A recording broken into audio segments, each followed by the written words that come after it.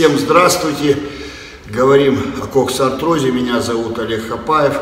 Я являюсь обладателем э, такой болезни. У меня третья степень на левой ноге. И сегодня продолжение темы ходьбы при коксартрозе и как мы разделяем на, э, нашу ходьбу на некоторые фазы тренировочные. И чтобы их продуктивно делать, я сейчас покажу последовательность, с чего именно я начинаю тренировку. Значит, у меня в руках вот такой шар. Это сплошная резина, прорезанная, рельефная, для того, чтобы работать э, на триггерные зоны, триггерные точки. И у меня здесь палка вот такая, можно использовать скалку. У меня есть передача на эту тему. Значит, вот я пришел в зал, никого нету, рано утром. Значит, я начинаю проблемную зону вот здесь, в сгибателе тазобедренного сустава с передней мышцы. Начинаю активно, вот, надо не забыть ключи выложить, а то ключи потом в ляжку воткнутся. И начинаю активно прожимать палкой. Достаточно жестко, достаточно болезненно ближе к суставу. Ногу я выпрямил для того, чтобы мышца была относительно расслаблена.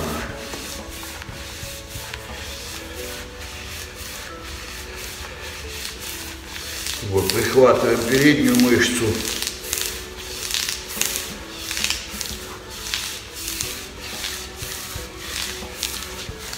Внутреннюю медиальную здесь по приводящим прошлись.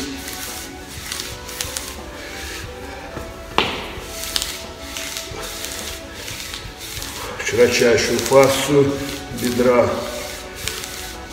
Вот. И э, делаем немного для того, чтобы взбодрить ногу. И теперь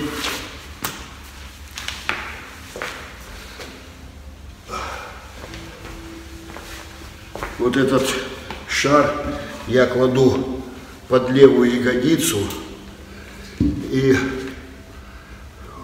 немножечко прокатываю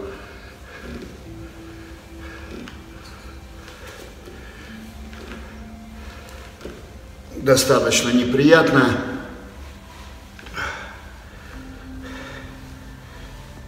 Вот, вот такой небольшой массаж для того, чтобы ввести в тонус э, наши мышцы.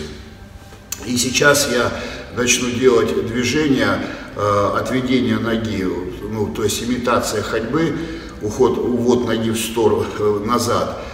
Но при этом я буду использовать уже резину, потому что моя мышечная масса достаточно большая, сильная, и для того, чтобы э, э, не только э, захватить мускулатуру, но еще и поработать на симметрию, я сейчас покажу, как это делается. У меня видео уже было, где я делал это просто ногой.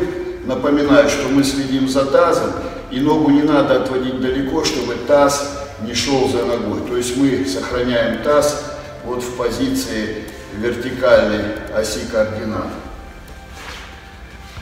Точно на пяточку резину я одеваю и начинаю отведение ноги. Если вам тяжело, держите, беритесь за опору и работайте не глубоко,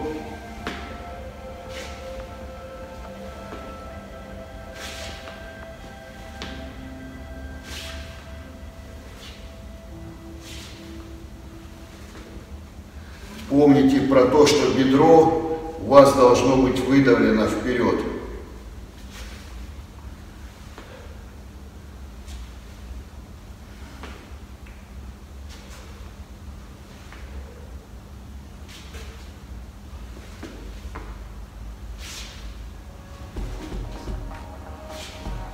Но в лучшем варианте делать упражнения без удержания, без опоры.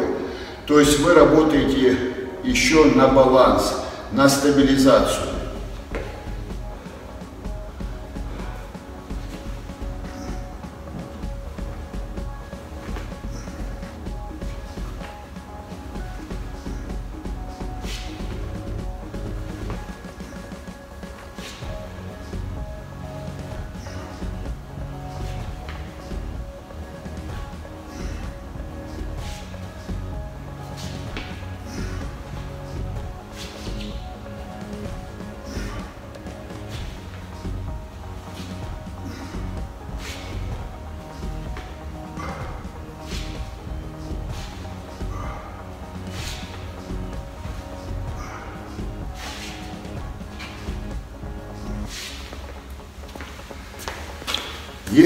Если вы будете халтурить в этом движении и будете как-то э, не контролировать тазобедренный сустав, и у вас будет желание отодвинуть максимально любым способом ногу назад, то вы не включите работу э, голеностопа и коленного сустава.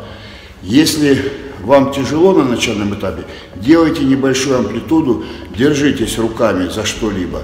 Но если вы почувствовали уже уверенность, уберите руки, и за счет вот этого дисбаланса, за счет напряжения, вы включите не только тазобедренный сустав, коленный сустав будет работать, подколенные сухожилия вы почувствуете, что будет напрягаться с задней стороны, и голеностоп будет работать.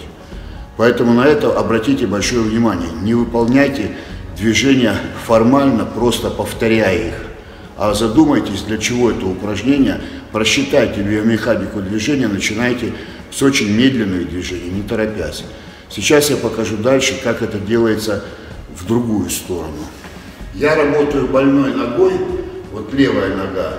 Сейчас я резину одел также на стопу и работаю уже в противоположную сторону, движение делаю вперед.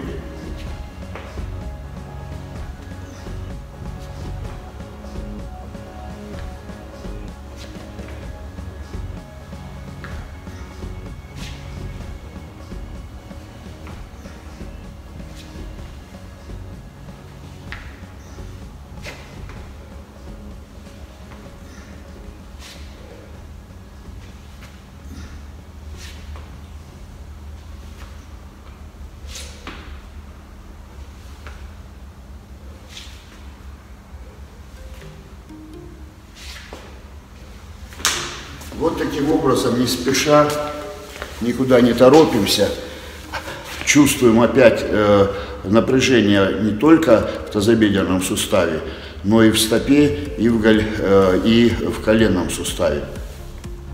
Сейчас я покажу вам точно так же, как это делается в сторону отведения.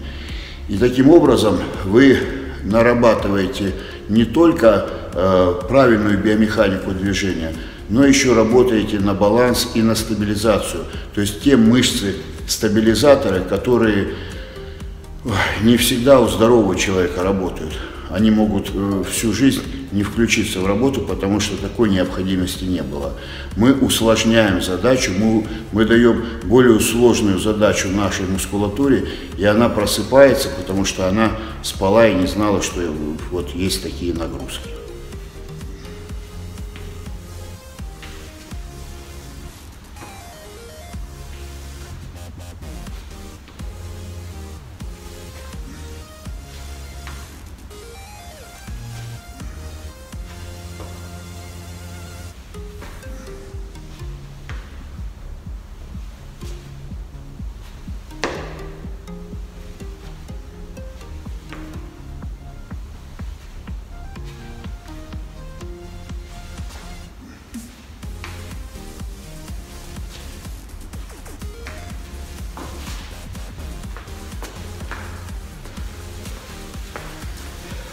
Некоторые это упражнение делают, э, устанавливая резину на уровень коленного сустава или выше на бедро. Э, то есть они как бы локализуют движение, они приближают э, биомеханику движения ближе к болезненному месту, ближе к суставу. Но я наоборот считаю, что нужно рычаг удлинить, то есть чем мы больше удлиняем рычаг действия, тем больше у нас э, суставов включается в работу, дисбаланс идет еще больше, это сложнее для нас. И вот у кого начинают побаливать колени, это вот то, что доктор прописал. То есть вот при болезненном состоянии колена работать вот на такое приведение, вот сейчас, сейчас э, я делал приведение ноги, к себе, да, то есть это я заставляю работать внутреннюю приводящую мышцу, то есть тут целый конгломерат этих мышц, поэтому они начинают работать на проведение ноги, и в это время коленный сустав стабилизируется. То есть чем лучше работают мышцы вокруг коленного сустава, а это все мышцы, начиная от икроножной снизу кончая верхней частью мускулатуры, Чем э, мышцы жестче работают, чем они стабильнее, тем сустав меньше будет подвержен каким-то смещениям влево, вправо, вверх, вниз. Сейчас я показываю следующее упражнение уже на отведение.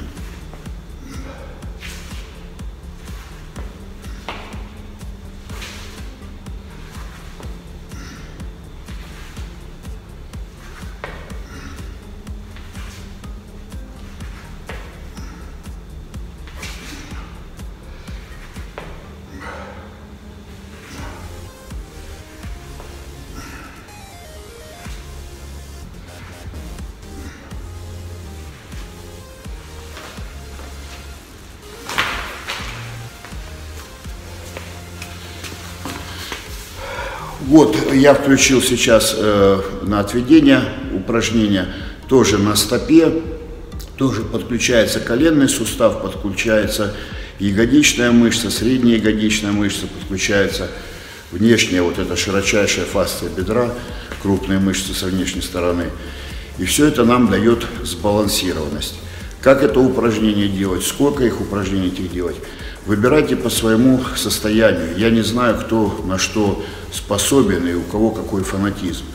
Если резинка будет у вас достаточно э, такая эластичная, подвижная, вы можете это делать на первых порах э, как разминка утром, хоть каждый день.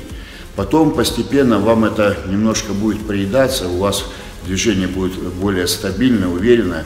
Резинку вы можете взять пожестче и делать уже там через день, через два дня. Ну а постепенно это упражнение будет уже адаптировано к вам, и организм не будет воспринимать как, как стресс и как что-то такое интересное. Постепенно интерес к этому упражнению угаснет. Ну, будете делать его тогда раз в неделю на фоне всех остальных упражнений. Все, спасибо за внимание, спасибо за ваши комментарии, спасибо за поддержку, спасибо за признание, спасибо то, что вы делитесь там своими мыслями, своими советами и помогаете еще и финансово, что тоже немаловажно в нашем, в нашем нелегком труде. Все, до встречи.